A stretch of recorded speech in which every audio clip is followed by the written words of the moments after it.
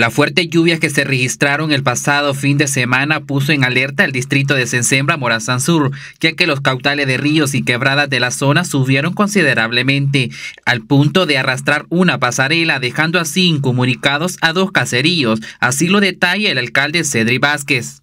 Este día, pues desde tempranas horas estuvimos en Sensembra y eh, con el objetivo pues de darle seguimiento a lo que son algunas eh, situaciones que se generaron a raíz de la tormenta de anoche y tal es el caso de una pasarela, ¿verdad? Que fue arrastrada y esta pasarela pues es bien importante porque sirve para comunicar los caseríos Los Martínez y Los Ramos.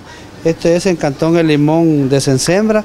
Ya fuimos a verificar, hemos tomado pues este, algunos informes que estamos preparando para presentarlos a Protección Civil.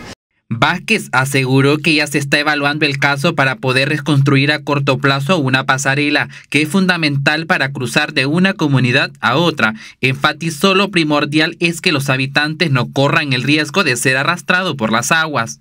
Lo más importante es pues poder este, restablecer la verdad a corto plazo para que la población pues pueda tener esta vía de comunicación y no pueda arriesgarse verdad a cruzar la la quebrada y que pueda exponer su vida.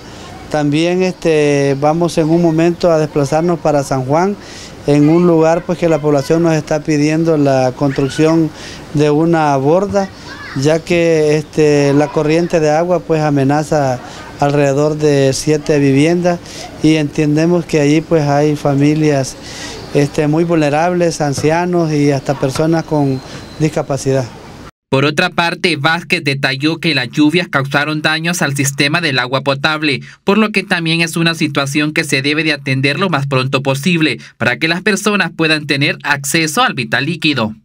Este consejo va a estar muy pendiente de apoyarles como de algunos sistemas de agua que eh, las tuberías pues han sido arrastradas, han sido dañadas. Ya en su momento nos vamos a reunir con la junta directiva y ver de qué manera pues les apalancamos un poco porque sabemos que en estos casos, en, estos, en estas emergencias pues la población muchas veces no está preparada y hay que ver pues en este caso los gobiernos locales cómo les contribuimos para que esas problemáticas se puedan resolver. Es importante mencionar que las autoridades hacen un llamado a la población a tener un poco de paciencia mientras se realizan las inspecciones de los daños y así priorizar los casos para dar una pronta solución. Con imágenes de Johnny Wilson García, Neustalí González, Noticiero Telemás.